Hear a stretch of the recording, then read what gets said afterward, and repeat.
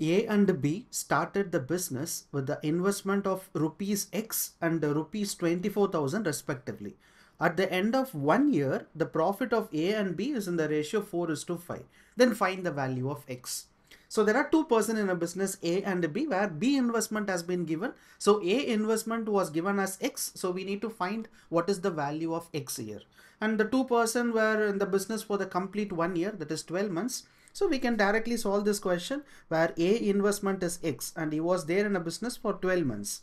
B investment was 24,000 and E2 were in the business for the complete 12 months. So into 12 is equals to their profit ratio that is 4 is to 5. So now we can uh, we have an investment as well as the profit ratio just divide both the respective values. So x into 12 divided by 24,000 into 12 is equals to 4 divided by 5. So 1 4s are 4. So 4 3s are 12. So now I think whether we can cancel anything. So 3 into 5 this will be 3x right. So 3x into 5 is equals to 24,000 into 12.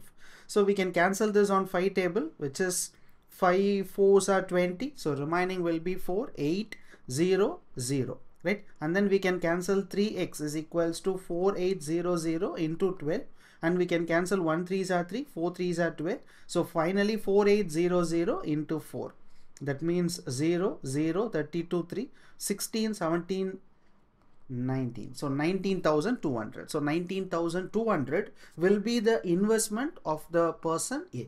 Right? So this is the value what we need to find here in the question